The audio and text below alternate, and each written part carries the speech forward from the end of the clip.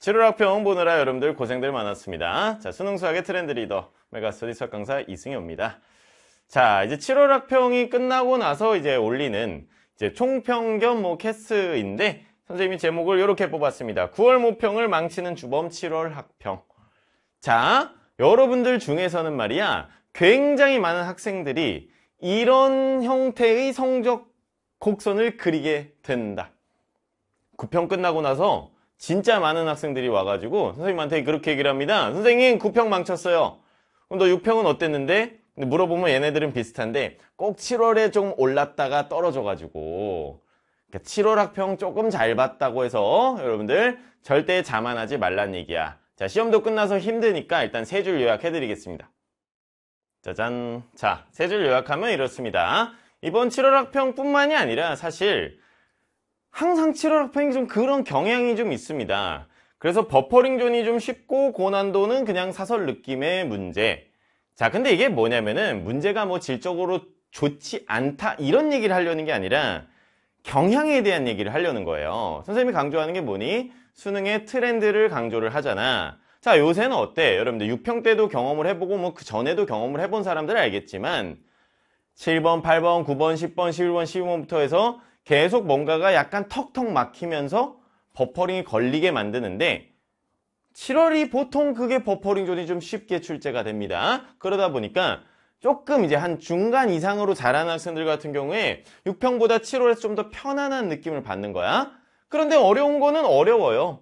여기서 사설 느낌이라는 게 뭐 사설이냐 평가냐 이게 어떤 거냐면 조금 더 더 과거 지향적인 기출을 베이스로 하면서 뭔가 좀 이렇게 깔끔하게 좀 안 풀리고 좀 어렵게 풀리거나 이런 것들을 얘기를 하는 건데 어쨌거나 고난도는 어려워요. 그치? 그러니까 여러분들 아 이번 시험 쉬워요 이렇게 말을 하면은 야씨 나 많이 틀렸는데 어렵던데 이렇게 생각할 거 아니에요. 그러니까 문제가 쉽고 어렵고는 각자 이제 다 실력에 따라 다를 텐데 그 시험지의 어떤 그 문제 난이도 분포라던가 이런 것들이 이런 느낌이기 때문에 중상위권들은 어 좀 할만한데 이런 느낌을 받은 학생들도 있고 뭐 기출이 좀 빠삭한 최상위권들 학생들 같은 경우에는 어 뭐 되게 쉽네. 이렇게 느꼈을 수도 있고요.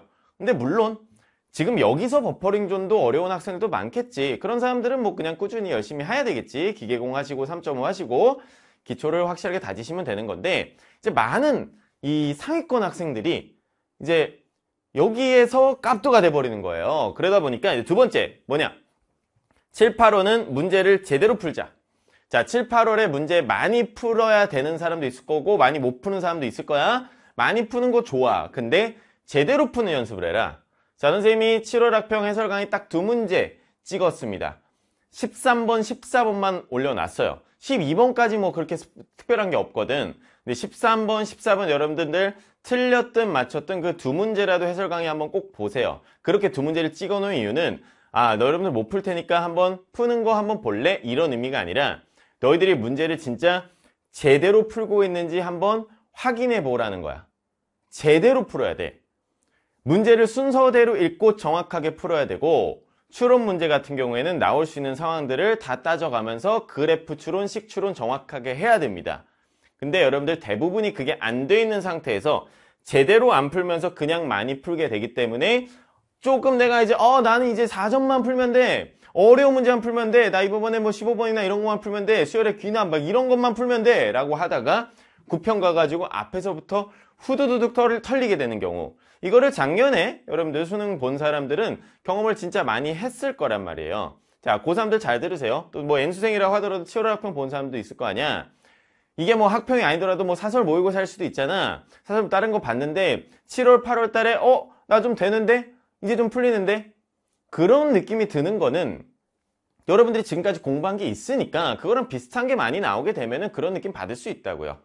그래가지고 나는 어려운 문제만 풀면 돼 이러면서 구평 대비를 제대로 못하고 진짜 중요한 여름 시즌을 그냥 막 흘려보내는 거지. 그냥 벅벅 풀다가 뭔가 내가 뭐 하고 있는 건가 마는 건가 이러다가 구평의 성적 뚝 떨어질 수 있으니까 포인트는 뭘로 잡아라? 문제를 제대로 풀자. 자, 세 번째, 그래서 DB6을 하자. 선생님을 선생님 얘기를 지금 듣고 있다면 내 수업을 들어보겠다라는 생각이 든다 그러면은 이 DB6이 뭐냐? 요게 DB3.5라고 하는 거하고요. 그 다음에 이제 26이라는 게 있어서 DB3.5가 공통이고 26이 이제 선택 과목이야. 여기다 이제 플러스해서 DB 딥까지 있어. 그래서 이제 DB와 26 합쳐서 DB6이라고 하는 건데, 9평 전에 여러분들은 이거를 꼭 하셔야 된다. 어떤 등급대든지 상관없이 DB3.5에서 보면은 2점짜리, 3점짜리부터 제대로 푸는 훈련을 시켜드리고 중간 난이도 문제 버퍼링 존, PT라고 해서 주제별로 해서 트레이닝 빡세게 시켜드리고 고난도 문제 추론하는 것들 모든 케이스 다 따져가면서 체계적으로 푸는 거 훈련시켜 드립니다. 자, 그거를 하면서 DVD까지 이렇게 세트로 갔을 때 여러분들이 문제량이 확 늘어나는데 양이 늘어나는 게 그냥 늘어나는 게 아니라 제대로 풀고 있다는 거를 느끼면서 양이 늘어나게 될 거예요. 그래서 이거를 하기 위한 준비가 그 앞에 있는 상승효과 3.5라던가 시나리오 3.5 같은 거예요. 근데 어쨌든 얘가 9평 전까지 마스터가 되는 게 여러분들한테 필요하다. 여기 들어있는 게 뭐냐면 선생님이 강조하는 최근 3년 동안의 기출입니다. 최근 3년 동안의 기출을 제대로 여러분들이 풀게 되면 그냥 풀고 풀이법 외웠다 이게 아니라 제대로 풀게 되면 여러분들이 9월에는 성적을 더 올릴 수 있을 것이다. 이렇게 말씀드립니다. 자, 7월 학평, 총평 이렇게 그냥 깔끔하게 하는 이유. 뭐 문제가 13번 문제가 어떻고 뭐 15번 문제가 어떻고 이렇게 논할 만큼의 가치가 있지 않기 때문에 뭐 6평 했던 것처럼 선생님이 문제 띄워놓고 그렇게 할 만한 그런 건 아니야. 여러분들 뭐 잘 봤든 못 봤든지 간에 현재 여러분들에게 필요한 게 뭔지를 잘 생각하셔야 돼. 알겠지? 그래서 여름방학 때 공부 진짜 제대로 해야 된다. 그래야 9평 끝나고 나서 울면서 선생님을 찾아온 일이 없을 거 아니야. 제발 그러지 마시고 어, 요새도 선생님한테 이제 상담이라던가 뭐 새로 시작했습니다 이런 학생들 되게 많이 오고 있고 학생들이 많이 늘어나고 있는데 그런 학생들 대부분이 다 뭐냐면 어느 정도는 풀 줄 아는데 제대로 못 풀어서 그런 거 제대로 풀면 여러분들이 벽이 뚫리게 된다고 그 벽을 뚫으셔야 되고 여기에서 이번 시험에서 벽이 뚫렸다라는 거는 착각일 수 있다는 얘기를 하는 거야 시험 자체가 여러분들에게 크게 벽을 주지 않는 시험이기 때문에 무슨 말인지 아시겠어요? 자, 이제 여름이야. 여름이에요. 이제부터 진짜 날씨 더워지고 막 뭐 또 폭우도 올 수도 있고 막 이제 굉장히 공부하기가 신체적으로도 심리적으로도 힘든 시기니까 여러분들 힘들 내시고 어, 오늘 시험 보느라 다들 고생들 너무너무 많았고요. 맛있는 거 하나라도 더 먹은 다음에 내일부터 또 파이팅 해가지고 달려보자고. 아시겠죠? 선생님이 여러분들 9편까지 수능까지 함께 하겠습니다. 바이바이.